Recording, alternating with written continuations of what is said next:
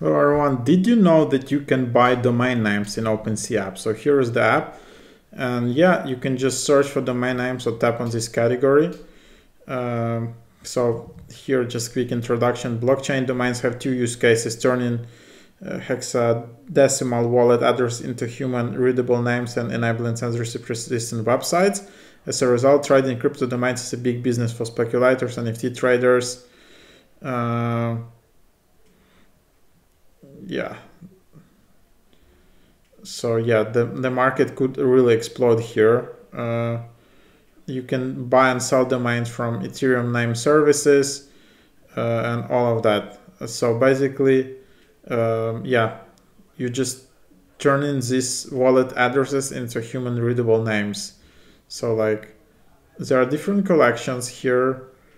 Uh, for example, you can just buy all of these uh, domains like given Ethereum. Uh,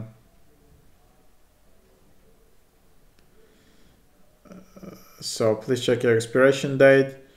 The renewal fee is five dollars per year for names, five cards, uh, and six hundred dollars per year. Yeah, so here you can just buy that domain name uh, dot Ethereum. Um, yeah, mm, via OpenSea. But this is an OpenSea app on iOS on iPhone. Uh, I don't think you can buy it here. You can just browse. So just do that on their, their website OpenSea.io. But yeah, this is pretty cool, right? And in top right, you have just filters.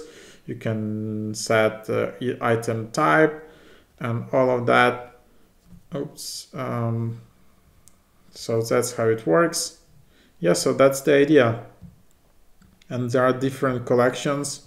Here it's basically not only um,